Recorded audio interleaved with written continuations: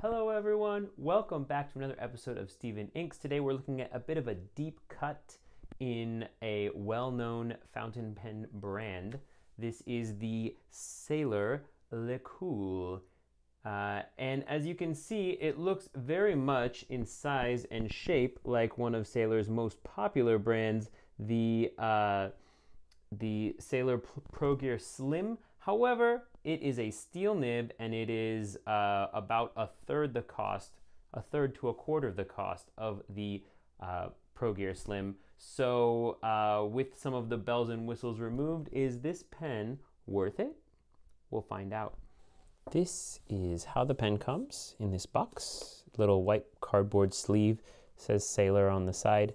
Um, it looks pretty nice for a pen that's on the lower end of the um, price range for Sailor. I say lower end, even though it's not really that inexpensive of a pen. It's um, it's a um, not priced down like like the bottom um, more affordable uh, pilot pens or even platinum pens. Um, Sailor doesn't really have a price point that's very low for their pens, except for maybe the Fude de Mannen, which uh, was somewhere around $10 at the time that I bought mine. Um, but here, when I open the box, I do get a sense that there's something really quality in here. Comes with um, some kind of Japanese um, language something. I cannot read that, but um, it's there. A little bit of a guide to use and maintenance. Once again, um, there's images, but it's it's all in Japanese. So, you know, if you don't speak Japanese, like I do not, um, you might not find that to be terribly useful. Um, two cartridges, Sailor cartridges, uh, and this, um, by the way, this converter did not come with the pen. I bought it separately. Uh, Sailor converters are mm, pretty reasonably priced, about I think about six dollars. And the cool thing about them is, and this is my favorite thing that a converter can do, is a twist off, so you can actually um, you can actually get this completely apart, and you can lube it up, and you can um, clean and maintain it very well.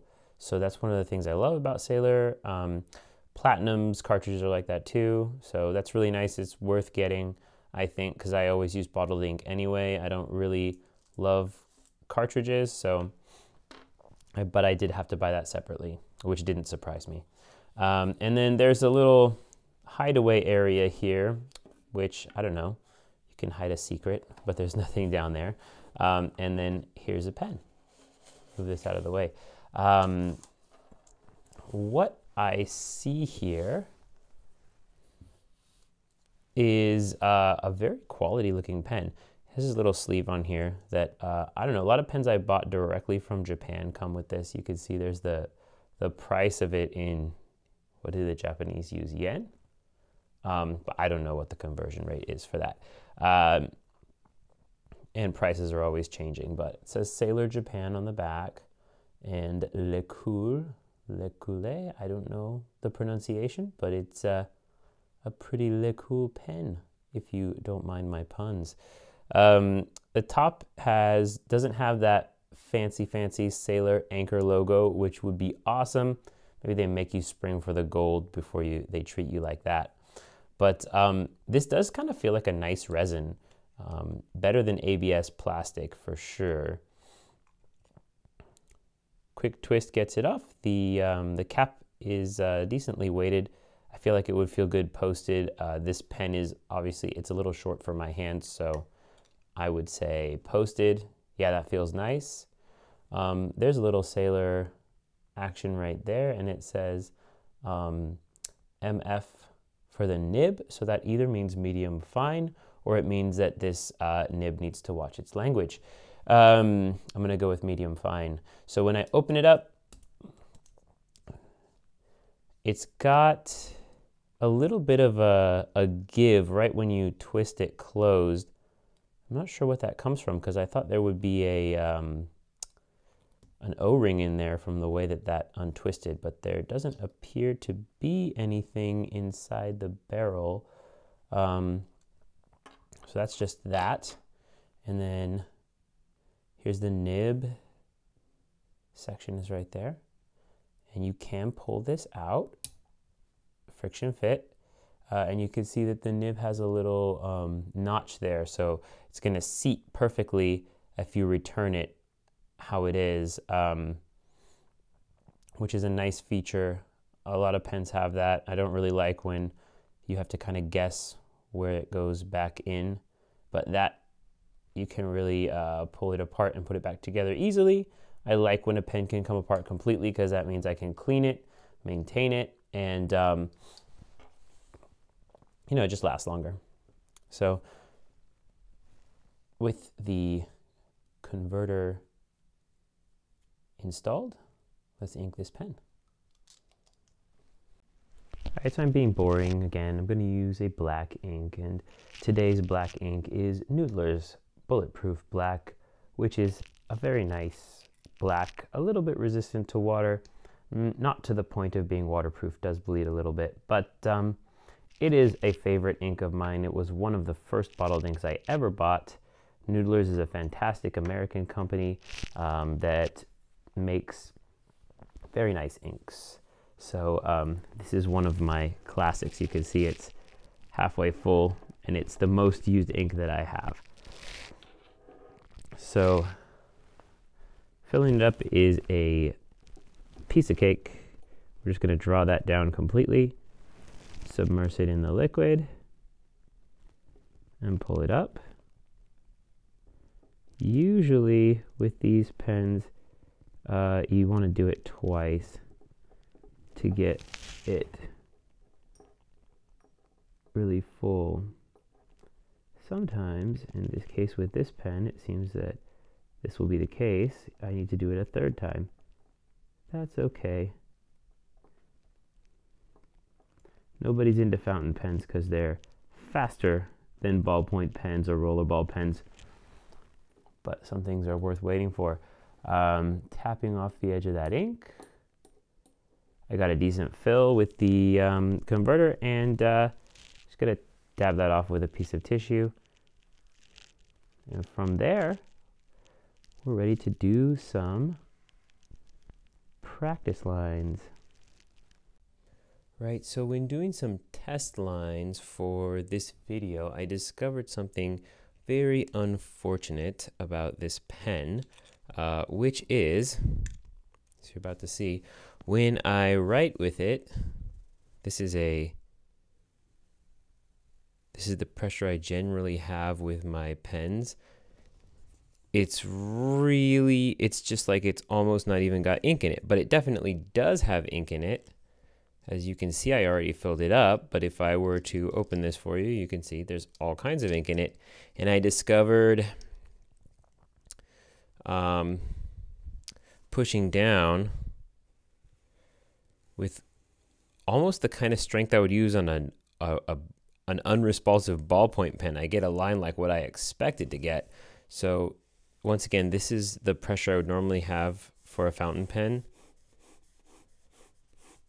And here's with much increased pressure, like a medium pressure, to the point where I'd almost be worried about springing the tines of my nib um, so, and looking at this up close, um, I do see that there appears to be some weird artifacts between the tines of the nib. So, unfortunately, this pen, which is a deal more expensive than a lot of um, pens that I've bought from other companies like Pilot and um, Platinum for being a steel nib nibbed pen, it wasn't a cheap pen, and the nib doesn't work.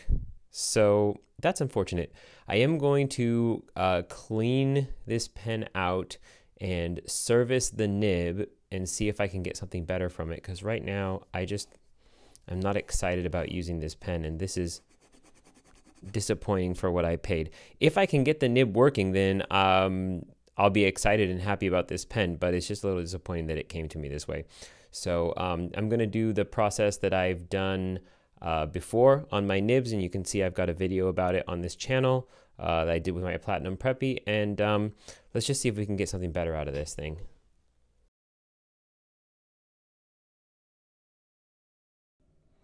All right, having cleaned up the uh, nib on this pen a little bit, I'm happy to say that, and I'm going to draw a line directly across the top or the center of this page. I'll tell you why in a bit.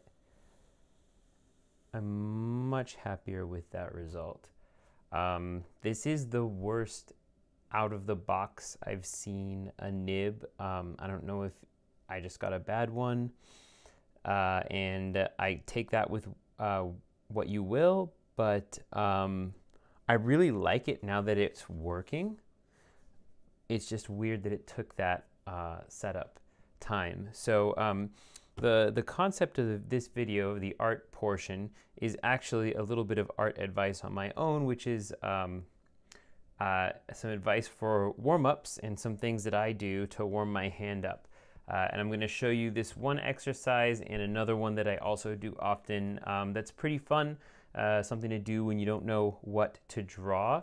Um, and uh, this first one is about drawing straight lines, and you can see this line that I drew here is not perfectly straight. I still don't draw perfectly straight lines, but this does help me uh, with control. It's a little bit of a meditative exercise, and it starts with drawing a line down the halfway point of your sketchbook. You can do this long ways or, um, or short ways. Obviously, long ways looks a little bit better for video, so that's what I'm going to do today.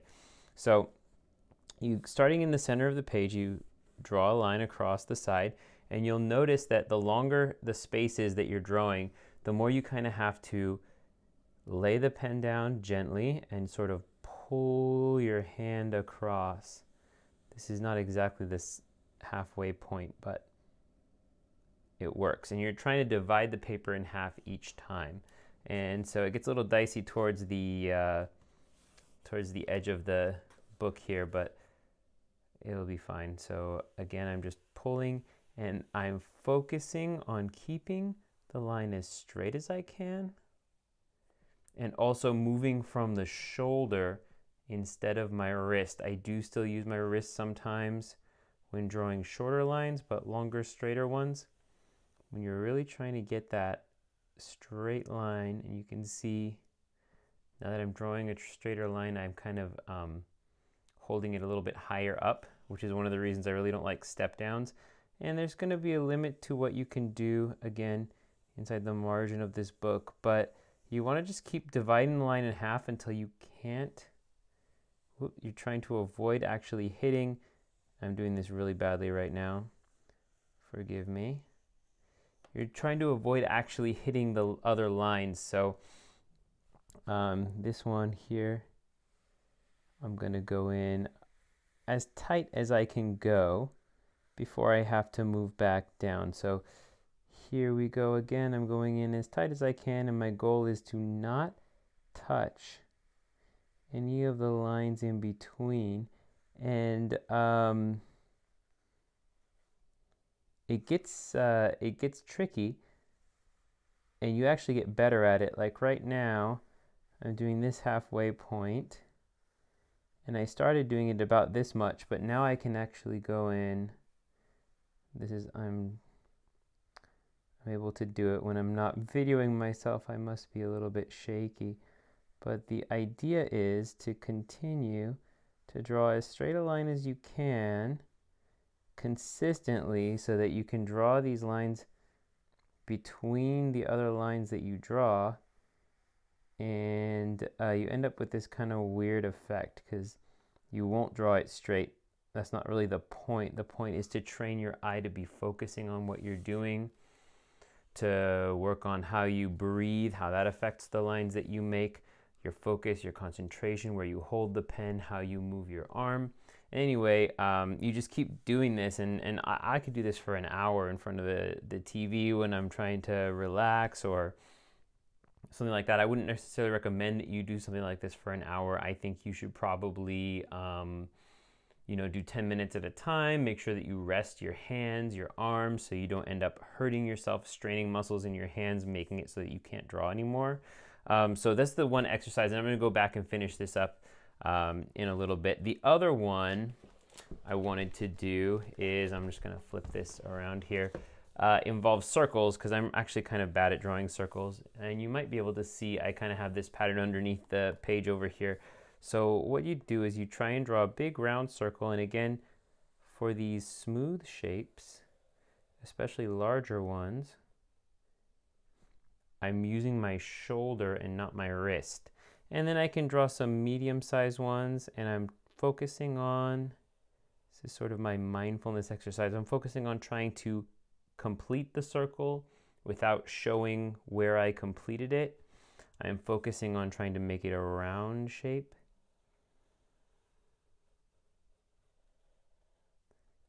and not having bumps and wiggles. Of course, this won't be perfect and doesn't have to be perfect. This is an exercise to train your eye to think. So as you see, there's spaces in between these circles and you can draw smaller circles that fit inside those shapes. And whoops, you want to try to not do what I just did, which is, um, not going to make that any better, uh, which is to not touch the lines there. And then in between each, you want to kind of just make another circle. Now, when you've done that, the next thing is to try and outline that circle. And this is training to uh, put your pen down and make a line that's accurate to what you want it to look like. So trying to keep the same distance between this line and the line before, you could see, again, I'm not doing it perfectly. And you can definitely see a seam where the two lines meet for this one. So the point is not to do this perfectly, but the point is to get used to making these shapes so that when you are drawing, you have some degree of control over what shapes you are making when you have a very specific line that you need to hit or a specific space that you need to fill. Um, it's a good idea also to not start and end in the same spot like I'm doing here. You get this kind of like jagged, um, distracting line here. So I'm to go down to the bottom here. Um, this is Another great way to pass the time when you don't know what to draw. Practice your circles. You're going to be practicing circles of all kinds of shapes and sizes. Uh, sometimes they get to be a little bit oblong as you kind of cut off your own space while you're moving through it, but that's okay. Um, it can look like whatever it needs to look like. It doesn't need to look pretty. It doesn't need to look fancy. It just needs to be that you are focusing on what you're doing concentrating and just kind of taking all the distractions out of your mind. This can be very relaxing to just be thinking about the paper and your lines that you're making on it. That's probably why I'm messing this up so badly because I'm talking to you while I'm trying to do it. So even in these little spaces right here, you get progressively smaller. And when there's room, Make a little circle in the center, but you won't always have room. And just try to fill the whole paper up with circles. Um, again, this doesn't have to be done in one sitting. It would take me an hour or two to do all of this page, which I am going to do, um, but it can be over several days, 10 minutes at a time, however you want to do it. The end result of these two exercises is that they can be relaxing, they can help you de stress if you de stress that way. Um, they can also help you make more accurate circles and straighter lines. All right, let's get to it. So, um, getting right into it, I think I noticed first of all that once I stopped talking over um, while and over explaining kind of what I was doing, I found it easier to focus, and that's kind of the purpose of this exercise is focusing. Um, and one of the reasons I was demonstrating this today is, well, two reasons. One, um, you know, it's getting to be a new year, and um, maybe you, uh, as well as I, have had this experience of just kind of um, wanting to do some new things with art. And so um, one of those things would be training your your hand, doing some mindfulness exercises that will also increase your ability to uh, draw a straight line or a circle, no matter what it is that you're trying to work on. Um, but there's another reason too, and it was just kind of um, this sort of selfish reason, is that I kind of always wondered what it would look like if I did this exercise sped up and uh, it looks kind of cool as you can see uh, the uh, lines and the circles as well and there's an inherent issue with showing you this way because obviously like I said it, it took me a long time to do all of that. Uh, the two exercises in this book took place over um, a series of three days. Um, you can kind of see the jumps really quickly when uh, it shuts off and on again. Um, basically everything that you see, especially the sped up versions of things, is kind of um, fake in that, um, you know, it's sped up. It makes it look like I knew what I was doing the whole time, but there's a lot of um, hemming and hawing and and guesswork and making mistakes and correcting them that happens when I do all my drawings. So and this warm up exercise is no different. Sometimes when I do this, it looks really cool. Like I I happen to think that it looked really cool um, for this video that I did, but other days it looks kind of funky and bad. And, and to be honest, that's okay because it's warm up. So um, I think a lot of artists have their own warm ups that they like to do. I would love to hear about yours. If uh, you have something different that you like, these are just two things that I'm always self conscious about straight lines and circles that don't look wobbly and gross. Uh, so practicing them a lot has done me a lot of good. Um, anyway, and also just uh, kind of talking about this pen. Um, it works okay, as a matter of fact. Uh, for how it started off, I was actually very worried that it would be a terrible experience. Um, after having worked with the nib, uh, it's actually a pretty great experience. It's a good pen, a nice fine line. Um, decent um, weight in the hand, and um, when it's posted, it's uh, an appropriate length, but it's also nice and compact with it with the cap on. So um, I like it. It's something I'll be using um, for a while and uh, enjoying. Um, it's definitely not um, quite what I expected, and and for the price point, I feel like it, it should be a little bit better but I don't want to give the impression that it's a bad pen because it is actually a, a pretty good pen. Um, anyway, take that for just uh, as as what you as what you will. Um, yeah, it's a it's all right.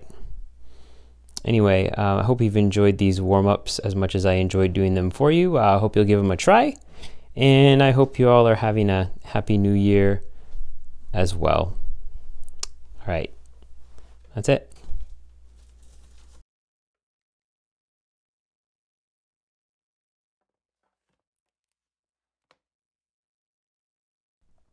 So, my conclusions about this pen are a little bit of a mess. To be honest, uh, it's fun to use it's um, interesting as a not very well known pen by uh, Sailor, and um, maybe I'm just out of the loop with Sailor's pens, to be honest. It could be true. Um, but at the same time, it only worked to the level that I appreciated after I gave that nib a serious uh, bit of elbow grease.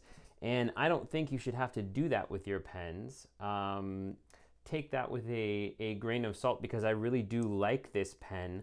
Um, it's disappointing with the nib though, so I'm a little bit on the fence about how should I conclude this. I suppose you would have to say um, if you're interested in the pen, I think you should check it out.